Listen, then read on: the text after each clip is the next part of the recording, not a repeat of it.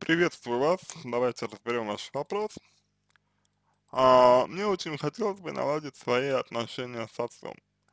Мы редко общались с ними раньше, то есть не было возможности. Дело в том, что мой отец отсидел в тюрьме почти все мое детство, но несмотря на это я очень любил и старался видеться с ним чаще. На тот момент мне было от 5 до 9 лет. Сейчас, когда он вышел, отношения не улучшились. Он вроде бы любит меня, но сейчас у совсем другая семья. С мамой они развелись еще давно, это я тогда, а, у меня появился отчим, с которым я общаюсь скорее как с дядей, чем с отцом. Дело в том, что я ревную отца к его ребенку и уже давно виню его в том, что он не поддерживал меня в детстве, его не было. Я задаюсь вопросом, почему ты ведешь себя со мной не так, как с ним, со своим сыном. Тому же меня очень интересует тот факт, что я становлюсь полной копией отца, и снаружи, и внутри. Мой внешний вид напоминает отца в молодости. Стрижка, лицо, глаза, много чего еще. Иногда у меня появляется желание покупать одежду, похожую на ту, которую носит он, и я делаю это. Я очень люблю, когда все говорят, что я похожа на него, но я ненавижу его в душе. Так, также почему-то я часто уп упоминаю его в общении с кем-то. Шучу на эту тему, тему того, что он сидел. Я не хочу этого всего, я хочу вообще забыть его, изредка поддерж поддерживать общение. Кажется, я не хочу общаться с ним, его слишком идеальный для меня семьей. Также забыла сказать, что я не виню его за свое детство, а виню за то, что он оставил мою маму одну, со, э, совсем одну на руках с двумя детьми без работы. Я всегда хотела разрушить всю его никчемную жизнь только по этой причине. Иногда мне кажется, что он старается для меня, но я не воспринимаю это, этого. Мне нужна помощь. Ну, для начала надо сказать, что у вас здесь есть противоречие, да, то есть вы говорите одно, тут же пишете другое, вы говорите, что не вините, не вините его, э, как бы, за свое детство, ну, пишете, что э, вините его за то, что он не поддерживал вас в детстве, как-то вот, это противоречие, вот. А, также, также я не совсем а, в данном случае понял, а, какого именно общения вы хотите. Вы говорите, что вы хотели бы наладить свои отношения с отцом, а тоже пишете, что не хотели бы с ним общаться вообще, вообще и как бы пишете, что хотели бы изредка общаться с ним только. То есть это тоже, это тоже момент, который, на мой взгляд, нужно, э, ну, определиться вам нужно с тем, чего вы хотите. Вот. Дальше. А, а, обвинение, то есть то, что вы вините а, своего папу а, связано с перекладыванием ответственности на него с одной стороны и невозможностью посмотреть на него как на человека с другой стороны. То есть вы видите его на данный момент исключительно как своего отца. Хотя он не только а, ваш отец, но он и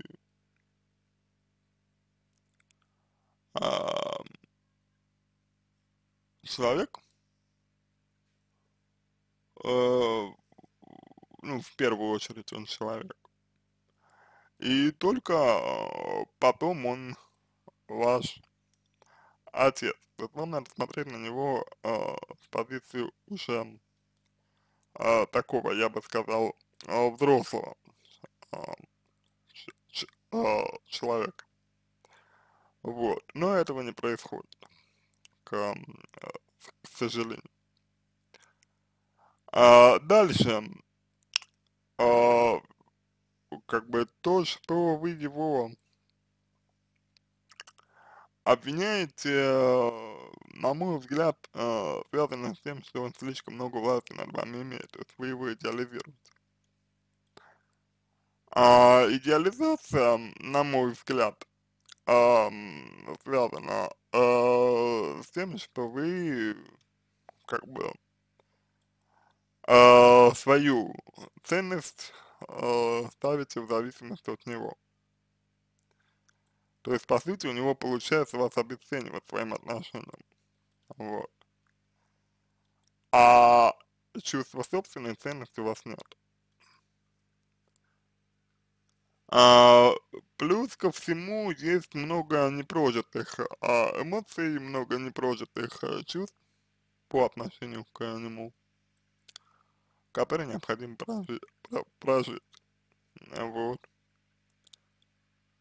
Э, и вы довольно невнимательны к, к себе, довольно невнимательны к тому, что происходит с вами, на мой взгляд, вы на мой взгляд, эм, много ну, эм, пропускаете эм, того, что вы чувствуете, много пропускаете, не замечаете. Того, что вы ощущаете, вот, и э, у вас есть ожидания от отца. Вот. Ревность э, также связана с вашей, э, ну, как бы, то, что вы себя не, не чувствуете ценной. Вот. А, то, что вы пытаетесь быть копией своего папы, это, это связано с стремлением быть, быть к нему ближе. Вот. Ну, а забыть его, понятное дело, невозможно. Вы пишете, что не хотите общаться с ним и слишком идеальной для, для, для вас семьей. Почему вы считаете его семью идеальной, да? То есть это тоже как бы обесценивание с, э, себя. Вот, вы пишете, что хотите, хотите, э, хотите, хотите разрушить его никчемную жизнь. Почему вы считаете, что его жизнь никчемна? Да, потому что а, потому что он не уделял внимания вам в данном случае.